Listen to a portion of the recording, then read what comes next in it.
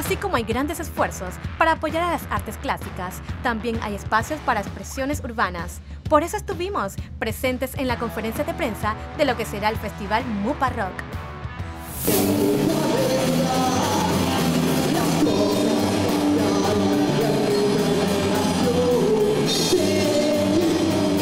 Ok, bueno, eh, el Festival MUPA 2016 para este año vamos a tener dos días de actividades que se va a estar llevando a cabo en lo que es la cinta costera en el área del Mirador de Pacífico.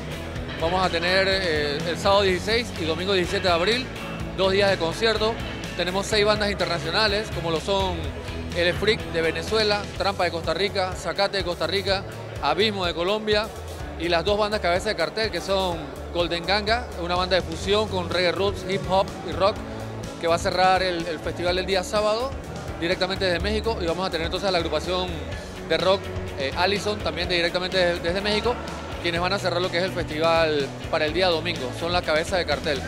Adicional a esto vamos a tener aproximadamente 30 bandas nacionales o 30 artistas nacionales de diferentes géneros, entre ellos vamos a tener a La Tribu, Cabeza de Martillo, Estado de Sitio, vamos a tener también a Inesta, eh, los mayores exponentes de la música reggae roots, Raíces y Cultura, Séptima Raíz, eh, Alfredo Gasnel, entre otros artistas que se van a estar presentando. Este es un evento completamente gratis, es un, evento para pasarla en familia, para ir con tus amigos.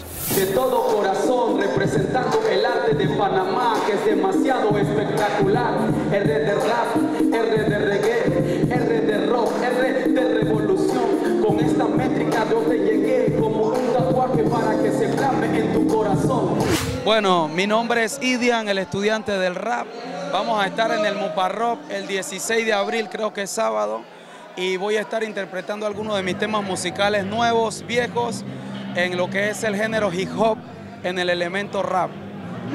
Así que estaremos esperándolo, vaya con su familia, con su abuelo, con el gato, con todo el mundo, lleve a su vecino, no lleve al amante, porque si lleva al amante se busca un problema con su esposa.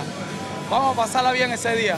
La alcaldía de Panamá está apostando a la cultura como una herramienta de desarrollo humano vital para crear ciudadanía. La cultura tiene miles de expresiones y el arte urbano, la música urbana, es una expresión muy popular que genera sinergias, interacción, eh, convergencia de grupos de distintos estilos y que promueve el uso del espacio público de manera democrática.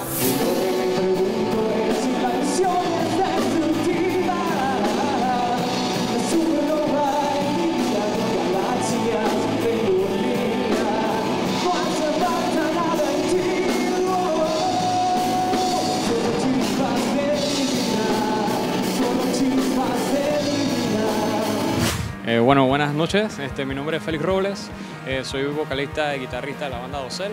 Eh, tenemos el honor de participar por segundo año consecutivo en el MUPA Fest, este, que se hace en la cinta costera.